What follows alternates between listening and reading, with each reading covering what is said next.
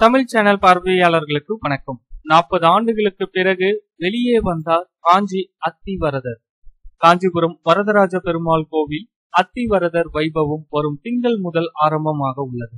நாற்பது ஆண்டுகளுக்கு ஒருமுறை நடைபெறும் நிகழ்வு என்பதால் பல்வேறு முன்னேற்பாடுகளை காஞ்சிபுரம் மாவட்ட நிர்வாகம் தற்போது செய்து வருகிறது முன்னதாக கோவிலில் உள்ள அனந்த சரஸ் குளத்தில் இருந்த தண்ணீரை கிழக்கு கோபுரம் அருகே இருக்கும் பொற்றாமரை குளத்திற்கு மாற்றினர். அனந்த சரஸ் குளத்தில் இருக்கும் தண்ணீர் முழுவதும் வெளியேற்றப்பட்டு அங்கு உள்ள சேறு சகதிகளை ஒரு வாரத்திற்கும் மேலாக அகற்றி வந்திருந்தனர்.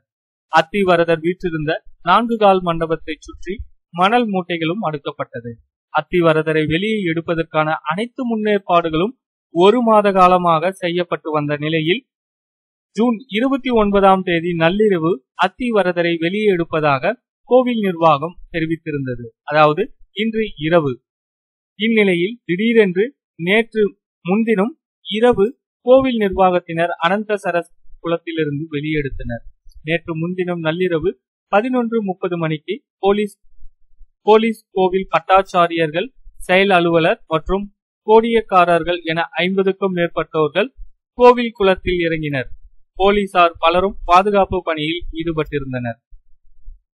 பின்னர் போலீசார் அனைவரையும் அங்கிருந்து வெளியேற்றிய பின்னர் கோடியக்காரர்கள் இருபதுக்கும் மேற்பட்டோர் நான்கு கால் மண்டபத்தின் கீழ் சேற்றில் இறங்கி சயன கோலத்தில் இருந்த அத்திவரதரை நேற்று அதிகாலை இரண்டு மணிக்கு வெளியே கொண்டு வந்தனர்.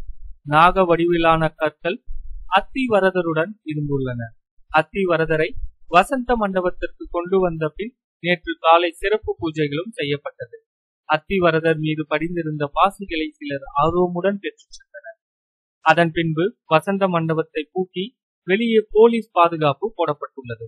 வசந்த மண்டபம் அருகே யாரையும் போலீசார் தற்போது அனுமதிப்பதில்லை.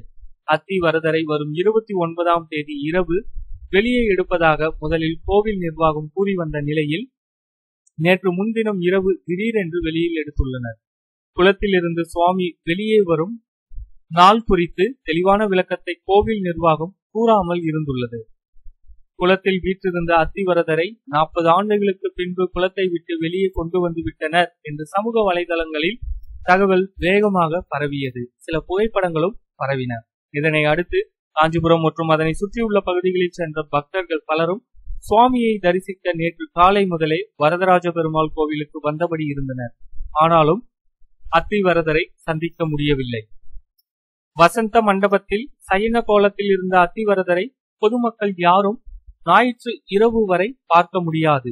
புகைப்படம் எடுக்கக்கூடாது என்று கோவில் செயல் அலுவலர் தெரிவித்துள்ளார். வரும் திங்கள் முதல் அத்திவரதரை தரிசிக்கலாம் என்று கோவில் நிர்வாகம் தெரிவித்துள்ளது. இந்த தகவலை உங்களுடைய நண்பர்கள் அனைவருக்கும் தெரியப்படுத்துங்க. நீங்க அத்திவரதரை தரிசிக்க காஞ்சிபுரம் போவீங்களா? அத்திவரதர் பற்றி உங்களுக்கு தெரிந்த தகவல்களையும் வந்து நீங்க தாராளமா ஷேர் பண்ணலாம். நன்றி வணக்கம்.